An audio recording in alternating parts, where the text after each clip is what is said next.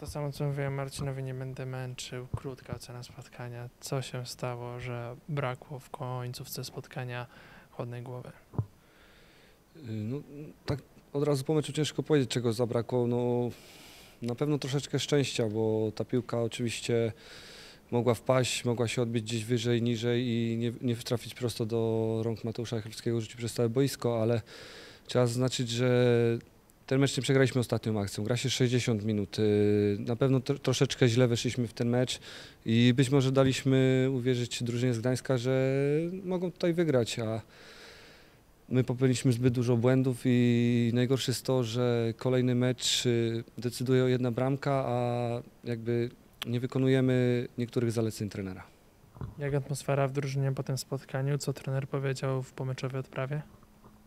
To, co jest powiedziane w szatni, to zostaje w szatni, ale no, atmosfera no, dzisiaj nie, nie, nie jest dobra i musimy to przełknąć, y, bardzo gorzką pigułkę i jutro przeanalizować ten mecz, y, przyjść na kolejny trening z wiarą i z chęcią zwycięstwa w niedzielę.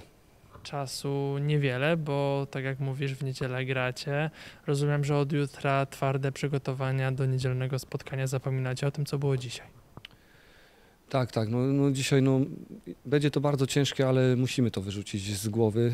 y, Wziąć tylko z tego meczu to, co było dobre i oczywiście przełożyć to na mecz niedzielny. niedzielny. Y, Czasu jest mało, ale no, wiedzieliśmy, jak wygląda terminarz, także no, musimy, musimy być gotowi.